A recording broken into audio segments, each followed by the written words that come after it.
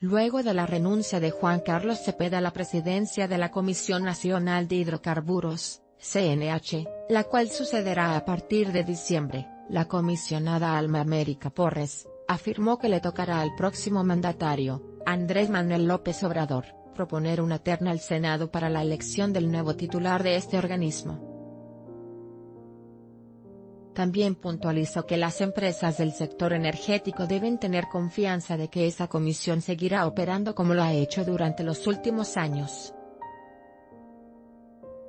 En este momento somos siete comisionados, sin el presidente y sin otro comisionado que también sale el 1 de diciembre, Héctor Acosta, por lo pronto, seremos cinco. Tendremos que seguir operando como lo hemos venido haciendo generalmente, y las decisiones seguirán tomándose en consenso con este órgano de gobierno, explicó. El periodo de Juan Carlos Cepeda Molina en la presidencia de la CNH terminaba en mayo de 2019 y su renuncia fue una decisión personal, comentó al tiempo de señalar que no está enterada si el gobierno entrante le pidió la dimisión.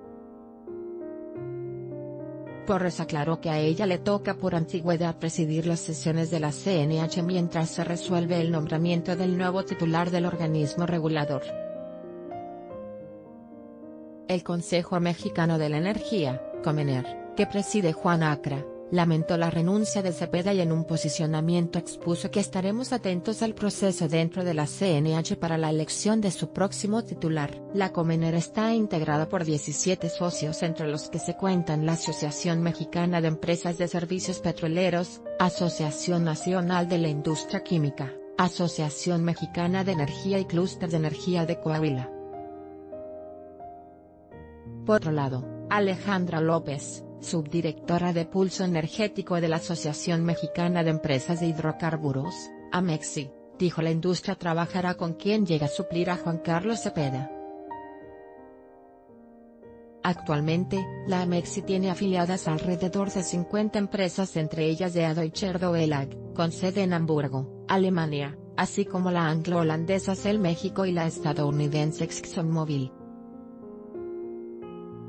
López recalcó que la persona que reemplace a Cepeda debe tener en cuenta que la CNH se ha forjado con altos estándares de transparencia, y apego a las mejores prácticas internacionales de la industria mundial y debería darle continuidad a este esfuerzo. La ley de los órganos reguladores coordinados en materia energética, estipula que en caso de ausencia definitiva del presidente del órgano de gobierno el presidente de la República someterá una terna, a consideración de la Cámara de Senadores, para cubrir la vacante por el tiempo que faltare para concluir el periodo correspondiente, que en este caso sería hasta mayo de 2019. Al término de dicho periodo, la persona designada podrá ser propuesta en una nueva terna para un segundo periodo como comisionado presidente. En ningún caso, la persona que se desempeña como comisionado presidente, podrá durar más de 14 años en dicho encargo, manifiesta el texto de esa legislación. Requisitos para el puesto Entre los requisitos que establece esta ley está el de poseer título profesional en cualquiera de las ingenierías, de ciencias físico-matemáticas, biológicas, químicas, sociales y barra o administrativas, que se vinculen con las actividades del sector energético.